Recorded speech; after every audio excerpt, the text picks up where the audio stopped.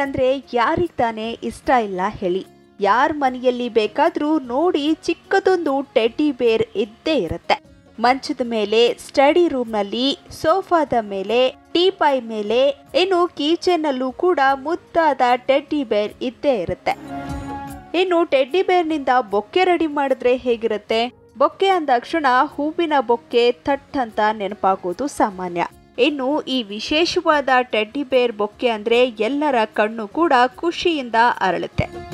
ಹಾಗಾದ್ರೆ ಮುದ್ದಾದ, ಪುಟ್ಟ ಪುಟ್ಟದಾದ ಟೆಡ್ಡಿ ಬೇರ್ನ ಬೊಕ್ಕೆ ಹೇಗೆ ರೆಡಿ ಮಾಡೋದು ಅಂತ ನೋಡಿ. ಸಾಮಾನ್ಯವಾಗಿ ಫ್ಲವರ್ ಬೊಕ್ಕೆ ಎಲ್ಲನೂ ನೀವು ಫಂಕ್ಷನ್ಸ್ಗೆ ತಗೊಂಡು ಹೋಗ್ತಾ ಇರ್ತೀರ? ಆದರೆ ಟೆಡಿ ಬೇರ್ ಬೊಕ್ಕೆ ತುಂಬ ಸ್ಪೆಷಲ್ ಆಗಿರುತ್ತೆ. ಅದು ಹೇಗೆ ಮಾಡೋದು ಅಂತ ಇವತ್ತು ನಾನು ನಿಮಗೆ ತೋರಿಸ್ಕೊಡ್ತೀನಿ. ಟೆಡಿ ಬೇರ್ ಬೊಕ್ಕೆಗೆ ಬೇಕಾಗಿರುವ ಸಾಮಗ್ರಿಗಳು. Teddy bears chocolate sticks rice papers binding wires sellotape machine scissor chocolate ಸ್ಟಿಕ್ಗೆ teddy bear ತೊಗೊಂಡು ಹೀಗೆ ಇಟ್ಕೋಬೇಕು. ನಂತರ ಬೈಂಡಿಂಗ್ ವೈರ್ನಿಂದ ಹಿಂಭಾಗಕ್ಕೆ ಬಿಗಿಯಾಗಿ ಕಟ್ಕೋಬೇಕು. ಈ ಥರ ಸುತ್ತಕೊಂಡ್ರೆ ಸಾಕು. ಇದು ಕೈಗೆ ಚುಚ್ಕೋಬಾರ್ದು ಅಂತ ಸೆಲೋ ಟೇಪ್ ಹಾಕ್ಕೋಬೇಕು. ನಂತರ ಈ ಥರ ಸೆಟ್ ಮಾಡಿಕೊಂಡು ಈ ರೈಸ್ ಪೇಪರ್ನ ತಗೊಂಡು ನಮಗೆ ಬೇಕಾದ ಸ್ಟೈಲಲ್ಲಿ ಕಟ್ ಮಾಡ್ಕೋಬೇಕು. ನೋಡಿ, ಈ ಥರ ರೆಕ್ಟ್ಯಾಂಗಲಲ್ಲಿ ಇರುತ್ತೆ. ನಾವು ಒಂದು, ಎರಡು, ಮೂರು, ನಾಲ್ಕು. ನಾಲ್ಕು ಸಾರಿ ಮಾಡ್ಕೊಂಡಾಗ ಈ ರೀತಿ ಶೇಪಿಗೆ ಬರುತ್ತೆ. ನಾವು ಮೇಲ್ಗಡೆ ಯು ಆಕಾರದಲ್ಲಿ ಕಟ್ ಮಾಡ್ಕೊಳ್ಬೇಕು. ನಂತರ ಇಲ್ಲಿ ಕೆಳಗಡೆ ಚಿಕ್ಕದಾಗಿ ಒಂದು ಸ್ವಲ್ಪ ಕಟ್ ಮಾಡ್ಕೋಬೇಕು ಯಾಕಂದರೆ ಈ ಕಡ್ಡಿ ಚಾಕ್ಲೇಟ್ ಕಡ್ಡಿ ಒಳಗೆ ಹೋಗೋಕ್ಕೆ ನಂತರ ಈ ಚಾಕ್ಲೇಟ್ ಕಡ್ಡಿನ ಈ ರೀತಿಯಲ್ಲಿ ಆ ಟೆಡಿ ಬೇರ್ ನೀಟಾಗಿ ಕಾಣೋ ರೀತಿಗೆ ನಾವು ಕೂರಿಸ್ಕೊಂಡು ಹೂ ಥರ ಮಾಡಿಕೊಂಡು ಕೆಳಗಡೆಗೆ ಒಂದು ಟೇಪ್ ಹಾಕೋಬೇಕು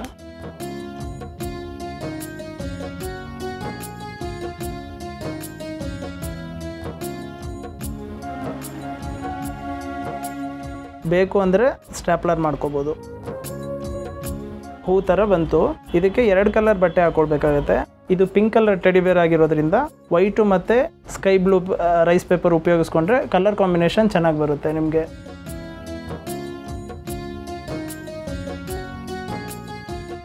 ಇದನ್ನು ಅದೇ ರೀತಿನಲ್ಲಿ ಮಡ್ಚ್ಕೊಂಡು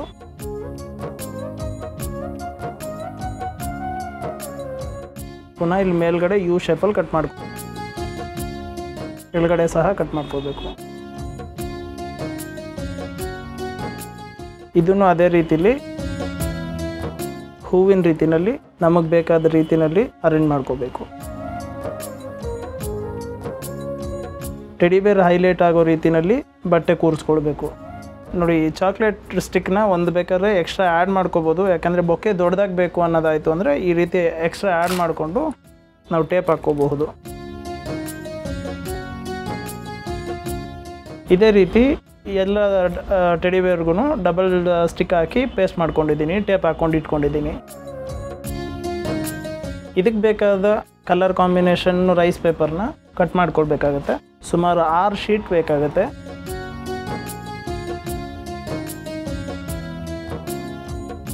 ಪಿಂಕು ಮತ್ತು ವೈಟು ನಿಮಗೆ ಬೇಕಾದ ಕಲರನ್ನ ಕಟ್ ಮಾಡ್ಕೋಬೋದು.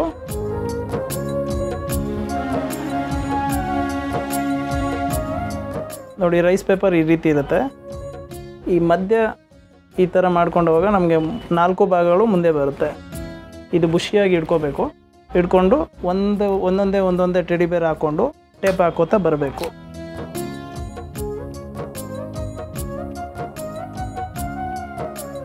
ಪುನಃ ವೈಟ್ ಕಲರ್ ಹಾಕೋಬೇಕು. ಅದು ಸಹ ಇದೇ ರೀತಿಲಿ ಇಟ್ಕೋಬೇಕು.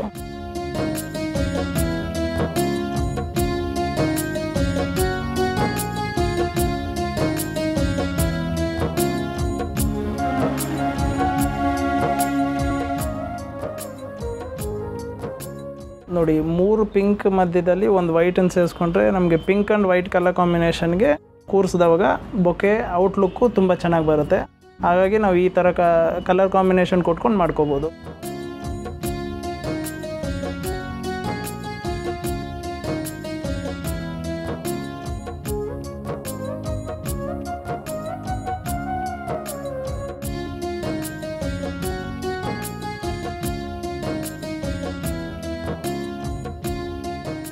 ಸಾಮಾನ್ಯವಾಗಿ ಫ್ಲವರ್ ಬೊಕ್ಕೆ ಎಲ್ಲನೂ ಹೆಚ್ಚು ದಿವಸ ಉಳ್ಕೊಳ್ಳಲ್ಲ. ಈ ಟೆಡಿ ಬೇರ್ ಬುಕ್ಕೆ ಕೊಡೋದ್ರಿಂದ ಇದು ಪರ್ಮನೆಂಟಾಗಿ ಮನೆಯಲ್ಲಿ ಇಟ್ಕೊಳ್ಬೋದು. ಆಮೇಲೆ ನೋಡೋಕ್ಕೂ ವಿಶೇಷವಾಗಿರುತ್ತೆ ಇದು.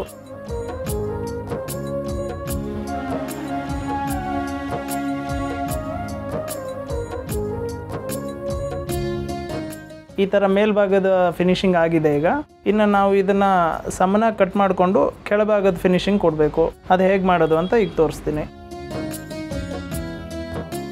ಈಗ ನಾವು ಈ ಕೆಳಭಾಗಕ್ಕೆ ಏನು ನಾವು ಅರೇಂಜ್ ಮಾಡ್ಕೊಳ್ತೀವಿ, ಅದನ್ನು ಇದರ ಒಂದರಲ್ಲಿ ಎರಡು ಭಾಗ ಮಾಡ್ಕೊಳ್ಬೇಕಾಗತ್ತೆ. ಈ ಥರ ರೈಸ್ ಪೇಪರ್ನಲ್ಲಿ ಒಂದರಲ್ಲಿ ಎರಡು ಭಾಗ ಮಾಡ್ಕೊಳ್ಬೇಕಾಗತ್ತೆ. ಆಗ ನಮಗೆ ಶೇಪು ನೀಟಾಗಿ ಬರುತ್ತೆ, ನಾವು ಅಂದ್ಕೊಂಡ ಹಾಗೆ ಬರುತ್ತೆ. ಈಗ ನಾನು ಎರಡು ಕಲರ್ ತೊಗೊಂಡಿದ್ದೀನಿ. ಮೇಲ್ಭಾಗ ಯಾವ ಕಲರ್ ಕಾಂಬಿನೇಷನ್ ಕೊಟ್ಟನೋ ಅದೇ ಕಲರ್ ಕಾಂಬಿನೇಷನ್ ಕೆಳಗೂ ಕೂಡ ಕೊಡಬೇಕಾಗತ್ತೆ. ಈಗ ಕೆಳಗಡೆ ಭಾಗ ನಾನು ಡೆಕೋರೇಟ್ ಮಾಡೋಕೆ ಹೋಗ್ತಾ ಇದ್ದೀನಿ. ಈ ಥರದ್ರಲ್ಲಿ one by one one by one one by one ಅದೇ ರೀತಿಯಲ್ಲಿ ಬಟನ್ ಮಡಿಸಿ ನಾವು ಕೆಳಭಾಗಕ್ಕೆ ಕೊಡಬೇಕಾಗುತ್ತೆ ಈ ರೀತಿಗೆ.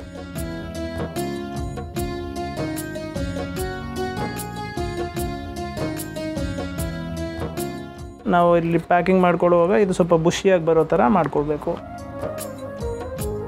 ಈ ರೀತಿಗೆ ನಾವು ಫಿನಿಶಿಂಗ್ ಮಾಡ್ಕೊಂಡಿದ್ದೀವಿ. ಇದು ಸ್ವಲ್ಪ ಬುಷಿಯಾಗಿರೋದ್ರಿಂದ ನಾವು ನಮಗೆ ಬೇಕಾದ ಶೇಪ್ಗೆ ಸ್ಟೇಪ್ಲರ್ ಪಿನ್ ಮಾಡ್ಕೊಳ್ಬೋದು. ಪಿನ್ ಮಾಡ್ಕೊಂಡೋಗ ಅದು ನೀಟಾಗಿ ಕೂರುತ್ತೆ. ಆ ಕಡೆ ಈ ಕಡೆ ಆಗೋದಿಲ್ಲ.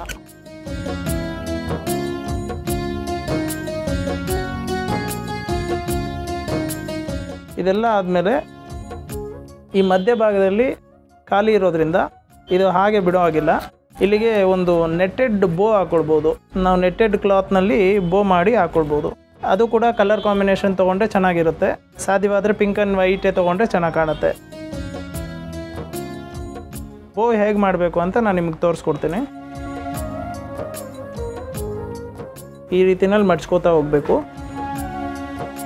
ಈ ರೀತಿನಲ್ಲಿ ಇದ್ರ ಮಧ್ಯಕ್ಕೆ ಮತ್ತೆ ಪಿಂಕನ್ನು ಆ್ಯಡ್ ಮಾಡ್ಕೋತಾ ಹೋಗಬೇಕು. ಈ ರೀತಿನಲ್ಲಿ ಮಾಡಿಕೊಂಡ್ರೆ ನಮ್ಗೆ ನೀಟಾಗಿ ಬರುತ್ತೆ.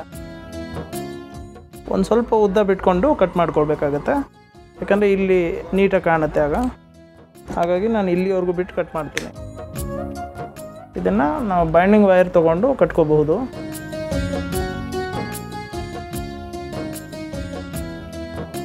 ಈ ರೀತಿಯಲ್ಲಿ ಟೈ ಮಾಡ್ಕೋಬೇಕು. ಬೇಡದೇ ಇರೋ ವೈರ್ನ ಕಟ್ ಮಾಡ್ಕೋಬಹುದು. ಇದು ಈ ಹಿಂಭಾಗಕ್ಕೆ ತೊಗೊಂಬಂದು ಇದು ನಮ್ಮ ಕೈಗೆ ಚುಚ್ಚಬಾರ್ದು ಅಂತ ಸ್ವಲ್ಪ ಟೇಪ್ ಹಾಕ್ಕೊಳ್ಬೇಕಾಗತ್ತೆ ಈಗ ಟೇಪ್ ಹಾಕೋದ್ರಿಂದ ಇದನ್ನು ಹಿಡ್ಕೊಂಡು ಹೋವಾಗ ಕೈಗೆ ಚುಚ್ಚೋದಿಲ್ಲ ಈ ಬ್ಯಾಂಡಿಂಗ್ ವೈರು. ಈಗ ಟೆಡಿ ವೇರ್ ಬೊಕ್ಕೆ ರೆಡಿ ಆಗಿದೆ.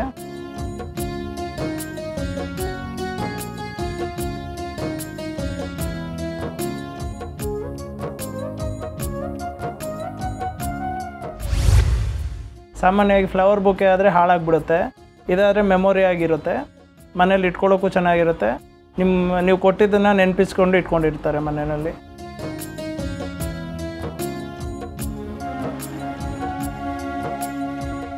ಬರೀ ಹೂಗಳಿಂದಷ್ಟೇ ಅಲ್ಲದೆ ಟೆಡ್ಡಿ ಬೇರ್ನಿಂದಲೂ ಸುಂದರವಾದ ಬೊಕ್ಕೆಯನ್ನು ಹೇಗೆ ಸಿಂಪಲ್ ಆಗಿ ಸುಂದರವಾಗಿ ರೆಡಿ ಮಾಡಬಹುದು ಅಂತ ನೀವೆಲ್ಲ ನೋಡಿದ್ರಿ ಅಲ್ವಾ?